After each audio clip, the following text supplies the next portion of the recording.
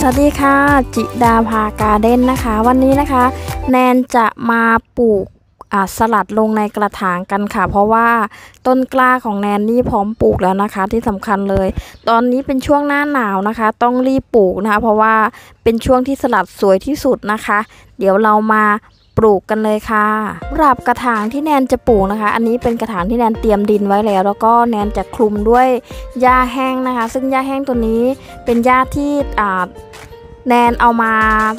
ตากไว้นะคะ เป็นหญ้าที่เราตัด แล้วทิ้งอะคะ่ะแนนก็เลยเก็บมานะคะ เพราะว่าแนนหา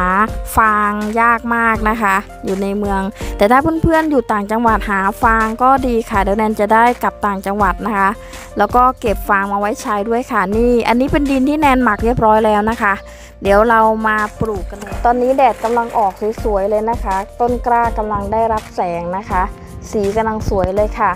อุปกรณ์อีกตัวหนึ่งที่แนนจะใช้นะคะก็คือ ช้อนนะคะนี่เลยช้อนแบบไหนก็ได้ค่ะ ตัวนี้แนนจะเอาไว้จิ้มนะคะว่าแนนลดไปแล้วนะคะ เดี๋ยวลากเขาขาดนะคะ ก็เลือกเอาต้นที่แข็งแรงนะคะนี่ตัวนี้ที่เพื่อนๆเห็นนะคะเป็นส่วนของพีชมอสนะคะพีชมอสอ่าเขาจะดีมากนะคะเพราะว่าเขาจะมีคุณสมบัติในการอุ้มน้ำนะคะ และที่สำคัญเลยเขาจะติดกับรากดีมากเลยเห็นไหมคะ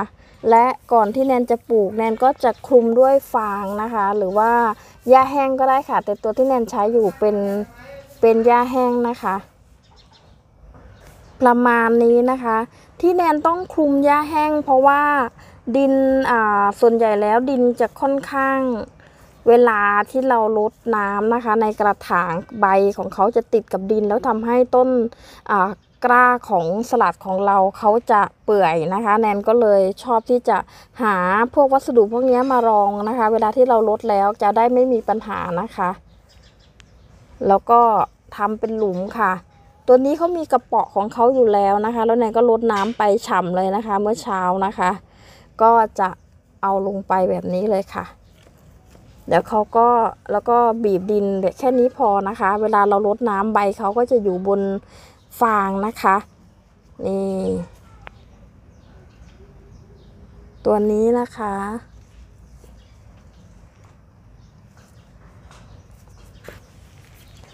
แนนปลูกค่อนข้างถี่นะคะ เพราะว่ากล้าแนนเยอะ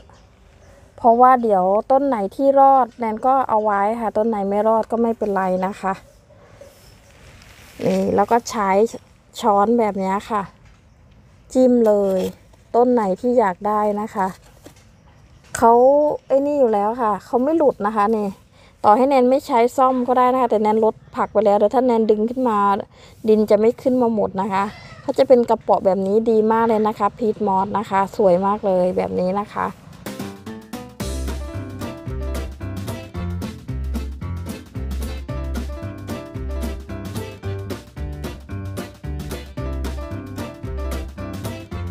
เรียบร้อยไปแล้วหนึ่งนะคะ นี่หนึ่งกระถางค่ะ เดี๋ยวแนนจะยกไปไว้ตรงอ่าตรงที่มีแดดรำไรนะคะ อีกกระถางหนึ่งนะคะ เมื่อรากเขาเดินจนถึงด้านล่างแบบนี้นะคะ นี่เห็นไหมคะเขาเริ่มม้วนละเราต้องรีบหา หาวิธีเอาออกนะคะ นี่รากยาวแล้วค่ะ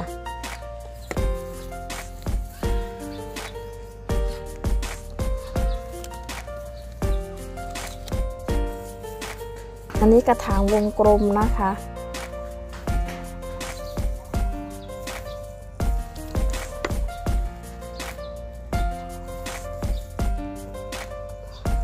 เสร็จเรียบร้อยแล้วนะคะ นี่เลยเห็นไหมคะกล้าสวยๆนะคะ แสงแดดกำลังพอดีเลยค่ะ นี่ แต่ถ้าจะให้ดีนะคะ ให้ปลูกในช่วงเย็นนะคะ แต่แนนไม่มีเวลานะคะสำหรับวันนี้แนนต้องรีบลงนะคะ เพราะว่าช่วงนี้แนนงานเยอะมากนะคะ สวยๆเลยค่ะนี่เลยนะคะ ปลูกแบบนี้จะโตเร็วนะคะ แล้วก็เอาวางไว้ในที่ร่มลำไรค่ะสำหรับของแนนช่วงนี้นะคะ แนนได้มุงสแลมนะคะ ด้วยผ้าสีเขียวก็เลย กรองแสงได้ระดับหนึ่งนะคะแนนก็เลยปลูกค่ะ เพราะว่าแนนใช้เลิกสะดวกนะแต่ถ้าเพื่อนๆคนไหนอยู่ต่างจังหวัดก็ปลูกช่วงเย็นนะคะ เสร็จแล้วเรียบร้อยแล้วค่ะสำหรับวันนี้แนนก็ขอขอบคุณมากๆนะคะ ที่ดูจนจบคลิปนะคะ และที่สำคัญเลย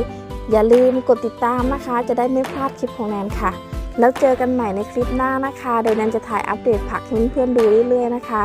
สำหรับวันนี้สวัสดีค่ะ